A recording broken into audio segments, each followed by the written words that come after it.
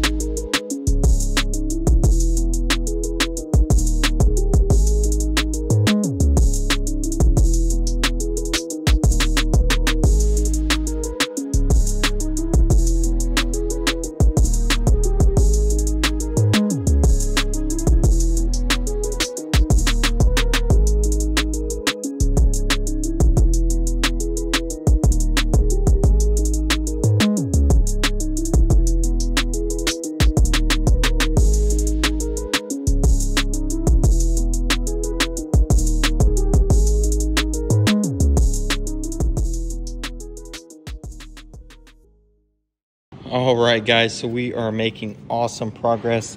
Check out these gaps. It's looking beautiful, guys. Everything's just lining up so well. All of this stuff is just getting super flush. I'm really happy we went ahead and replaced that. It's just gonna make this job so much cleaner. Check that out. Just awesome. Really happy with all of these results. Everything's looking great.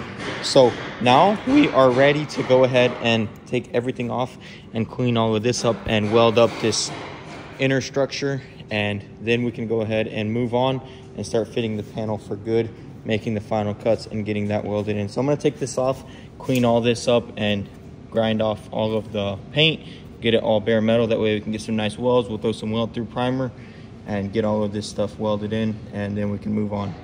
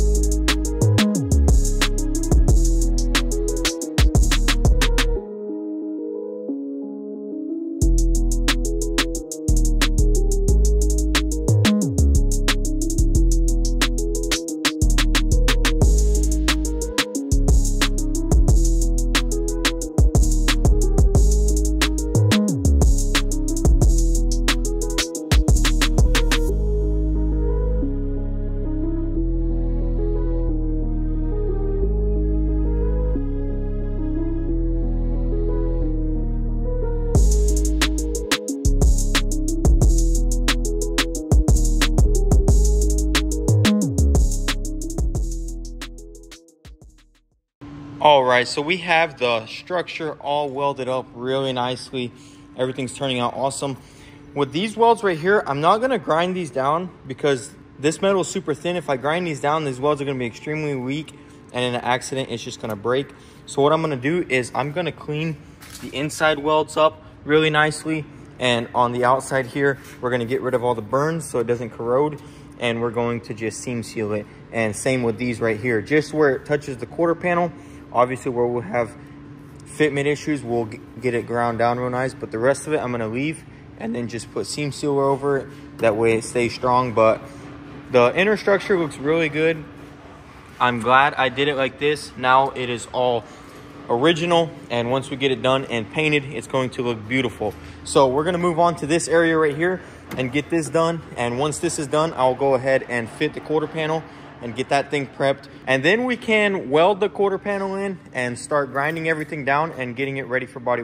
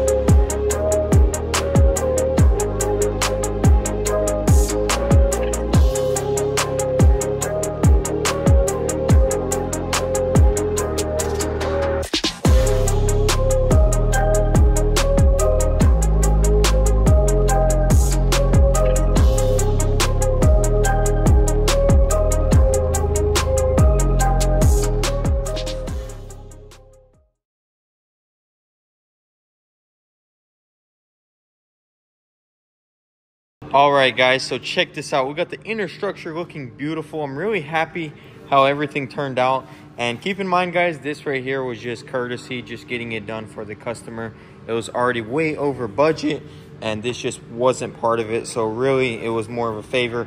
But I'm glad I did that because check this out. Now we have a super clean slate for this quarter panel. Everything is looking beautiful. The gaps are lining up very nicely super happy with it. And as you can see this rear pan is already welded in looking great. So i'm going to prep the quarter panel. We need to drill out everything get it ready sand it throw some weld through primer throw that on there and then go ahead and weld up the quarter panel. And hopefully get all these gaps really nicely. That way everything looks super good. So what i'm going to do is clean that up throw it on here get it in its spot and see how everything looks in its final place. And then we will weld it up and as you can see, all of this stuff lined up super nicely.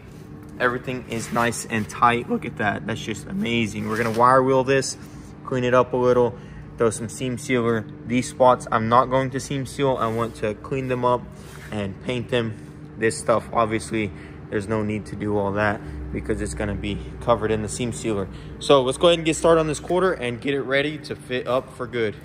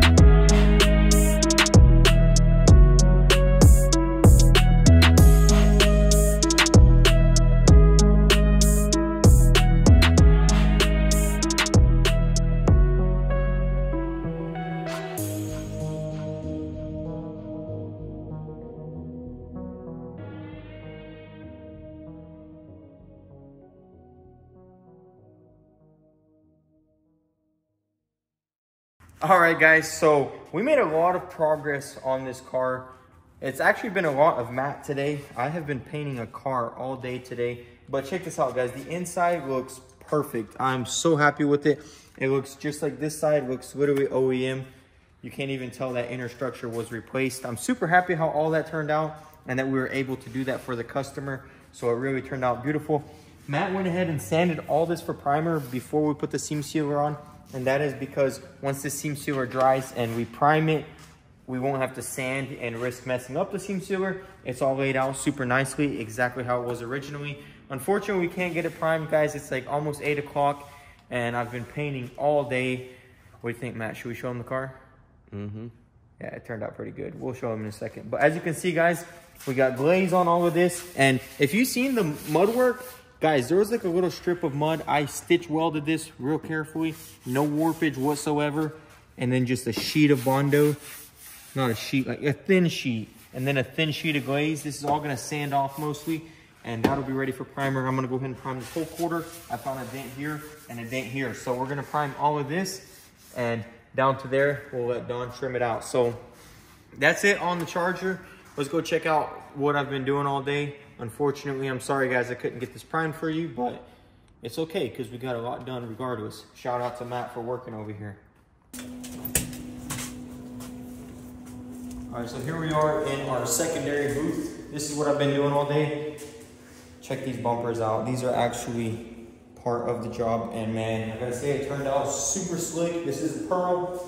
That's one of the reasons why it took so long. Check it out, we got the front bumper right here. Super awesome that we have two booths here because we are able to put multiple parts. As you can see, they did not fit with the vehicle and it works really well in here. We, Larry made this, not we. I didn't do anything in this because I'm not a painter, but I do paint occasionally on some jobs and I think it turned out pretty good. So let's go check out the van and then that's gonna be it for this video. And then here we have our main booth. Check it out, guys. We did the trunk, we did the quarter panel, the door, both doors, and the front fender. And he did not want to blend onto this panel, but I gotta say that is a very good color match right there. It looks beautiful. But it turned out really nice. I'm really happy with it. I did make a little bit of a oopsie run there at the bottom, but no big deal. It's at the bottom. We'll sand it out really nicely that's gonna be it for this video, guys. Also, a lot of this stuff, right, like this van and other little small jobs that I'm doing, I post them onto my Instagram. If you want to follow at motorhead.co, I'll post that down below. We appreciate all the love and support on the videos, and if you're enjoying, be sure to like me, tap the subscribe button, and stick around if you want to see more content just like this. So I'll see you in the next one. Thanks for all the love and support, and thanks for watching, guys. Peace.